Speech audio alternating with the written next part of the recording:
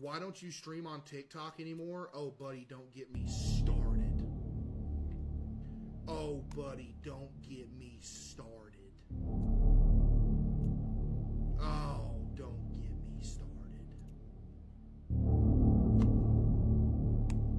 Don't, don't get, oh.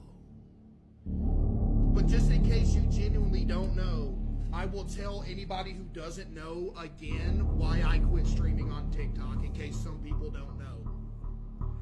When I stream on TikTok, there are so many others that are stealing my streams and streaming them on TikTok. So when I stream on TikTok, I get a warning that says, hey, this live is in violation of the repeated or stolen content warning. Your stream will not be pushed out. Sorry.